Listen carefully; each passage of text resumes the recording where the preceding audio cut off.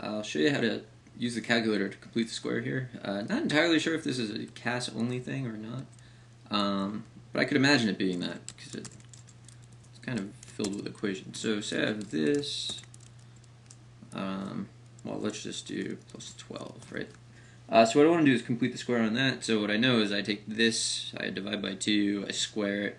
In this case I would add it and subtract it from both sides, uh, add it and subtract it from the same side so that it uh, cancels itself out and then I'd be done. But anyway, the calculator can do it for you. So menu, I'm going to go to algebra, complete the square.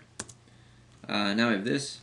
So I have x squared plus 4x plus 12. Whoops. And then I have to tell it x. So x is what I'm completing the square on.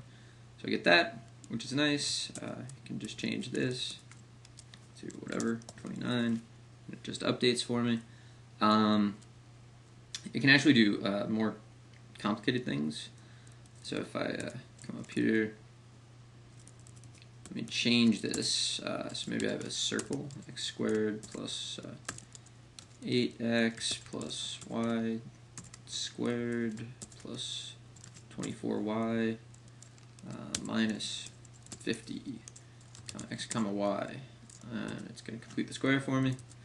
Uh, if I put in equals 0, I think that it uh, moves everything around for you. Um, I don't really know what the limit is on variables on this. probably isn't one. Uh, let's see. z squared uh, plus, I don't know, 50z. So now I have comma x, comma y, comma z. I don't know. Nope, still did it.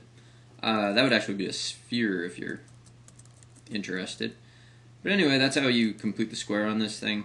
Uh, you can put an equal sign, you could not put an equal sign. Actually, one thing that's kind of weird is if you uh, only put comma x, it uh, does that. It only completes the square on x, uh, which I'm not sure why you'd be doing that, but uh, you know, that could be useful at some point.